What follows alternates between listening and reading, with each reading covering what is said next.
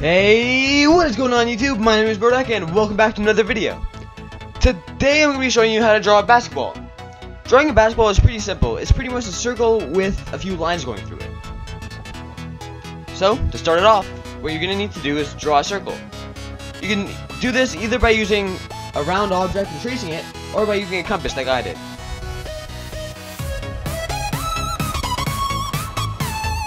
Now that you've done that, draw one straight line down the middle, followed by two curved lines on either side.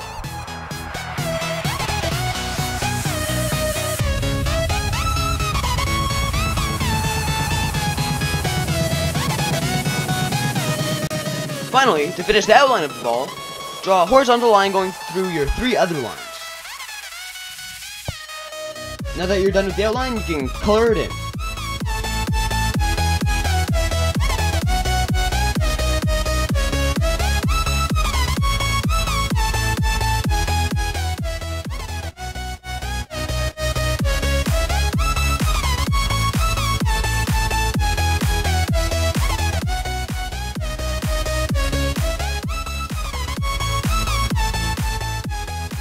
Alright, that's gonna be it.